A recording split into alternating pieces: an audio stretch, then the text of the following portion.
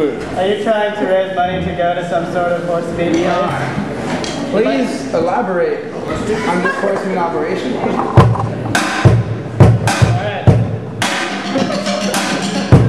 Hello. We're here for a cause and strongly endorse.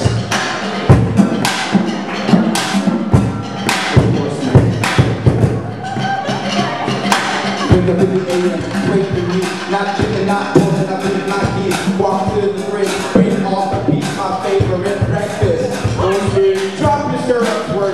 Europe, but the horse goes great for some maple syrup or out of BBQ. That's what we be doing, horse meat chewing. Now I'm saying for horse, you should all try horse, put it in your mouth. I won't use poison that you make me. Mmm, tasty horse meat, feed it to your baby. They eat it in the Netherlands, we let them in the